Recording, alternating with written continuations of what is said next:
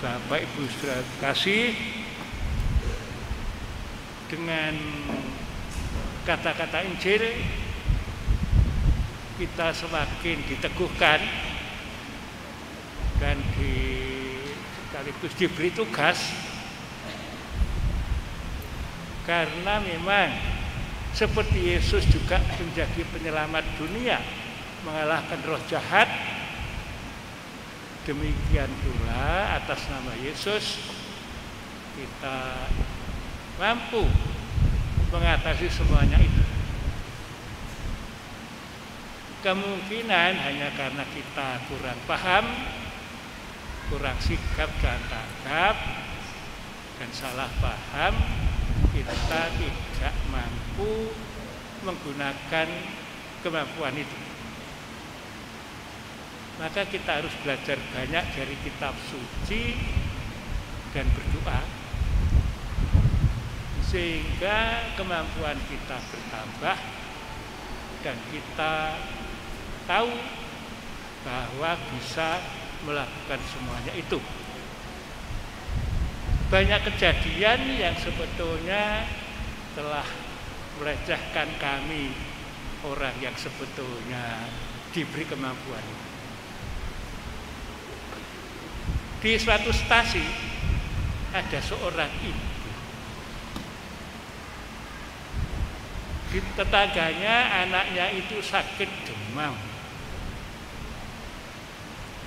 Lalu ibu dari yang anaknya sakit itu berkata kepada tetangganya tadi, "Bu, tolong beritahukanlah kepada pastor supaya datang menyembuhkan anak saya itu. Ibu itu berangkat sambil berpikir wah jauh gereja dan pasturan itu. Jangan-jangan nanti saya kembali sudah mati anak itu. Maka dengan penuh iman ibu itu mengambil air didoakan lalu kemudian kembali ke rumah orang itu sedikit menipu. Bu ini sudah saya ambilkan dari gereja. Lalu anak sakit dikepiuri dan sembuh seketika. Ibu yang ngecuri itu malah takut karena dianggap ini mendahului tugas gereja. Dia segera lari ke pastoran untuk minta maaf pada pastor. Nah, begitu pastor mendengar itu, langsung pastor menjawab, loh ibu itu lebih berjasa dari saya. Umpama saya datang belum tentu anak itu sembuh. Tetapi ibu yang penuh iman itulah yang telah menyembuhkannya. Ibu lega tapi banyak pertanyaan dalam hati. Nah, ternyata kita umat beriman itu